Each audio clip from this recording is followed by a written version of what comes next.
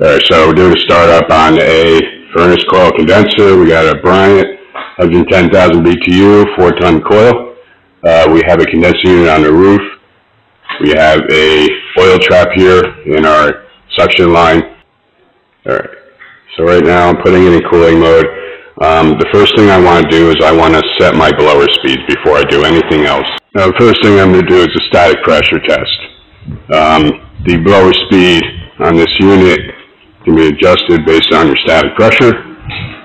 So, I have my static manometer here. Um, I got my probe pulled for the return side. The air flow is this way. So I'm going to point my probe against the airflow. And I'm going to do the same thing up here on the supply. This is the cold air. The air is flowing up this way. I'm going to put my probe towards the air. And this is my total external static pressure. Um, so that's the pressure of the whole entire system between supply and return side of this furnace. You can see it's pretty high, it's 1.4. Now I'm doing this without a filter.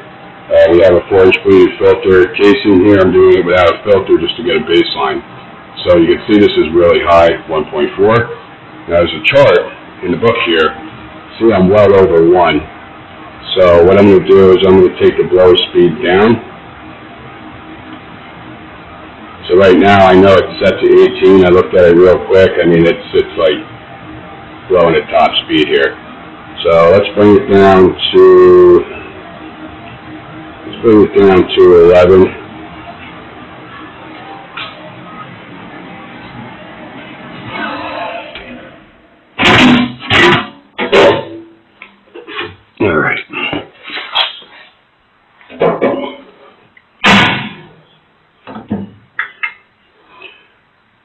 So with this, uh, you can see we have menu select and next option. So I'm going to hit menu select and I'm looking for CL.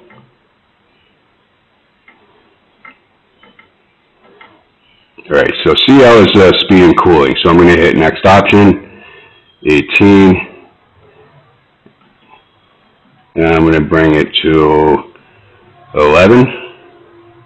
Hit menu select. All right, so we'll go ahead and let it run again, and we'll recheck the static pressures. All right, so our system started back up again. See our static pressure is down at 0.83. All right, so at 0.8, setting 11, we're at about 1,400 CFMs. So it's about 400 CFM per ton for a 12 1600. So that's where we want to be. We're a four ton unit, 1400 CFMs at 0.8 static pressure, so we're good. So what I'm going to do now is I'm going to take my anemometer and I'm going to measure uh, the flow rate of the air coming out of the vents.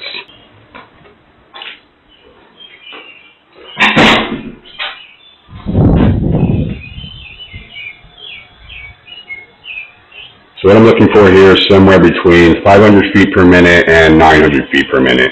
So this is actually pretty good. 826, that's good there. So I'm just going to go around all my grills, uh, make sure I'm within that range. And the reason why I'm checking airflow first is because your airflow is going to change your refrigerant pressures. So if you check your pressures first and dial that in, and then adjust your airflow, your pressures are going to be off again.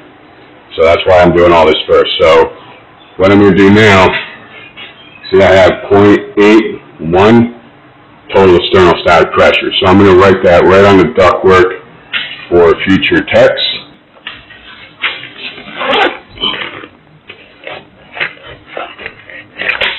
So I'm going to take my wireless probes, put one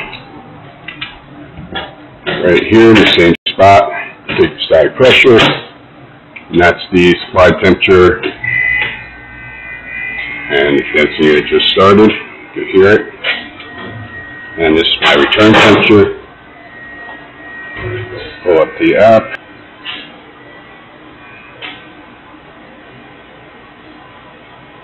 Alright, so these are my supply and return dry bulb temperatures, got wet bulb temperatures, and that's my delta T there. So what I'm looking for is somewhere between 18 and 22. Uh, this is a pretty short line set. I don't expect to add any refrigerant to this. So I'm going to go up on the roof now, and we're going to see where we settle in and check our saturated temperatures. And that's the beauty about these probes, is I can keep an eye on these temperatures while I'm actually adjusting the refrigerant. There we go.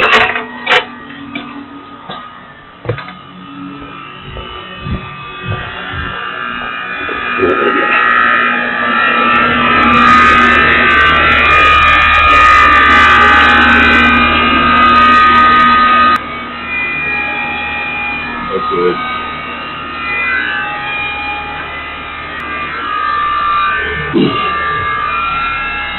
on this unit here, we're looking at subcooling. Uh, it says right on here, subcooling with a TXV, 12 degrees Fahrenheit.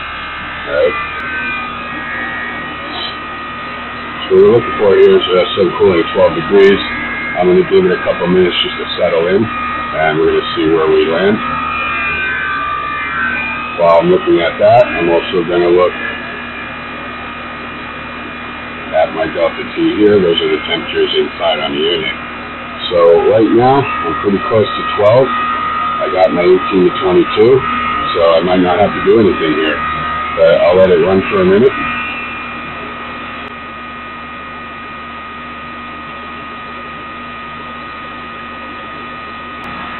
Alright, so we're looking pretty good. I'm gonna let this run for another five, ten minutes, and then we'll go ahead and do the furnace startup.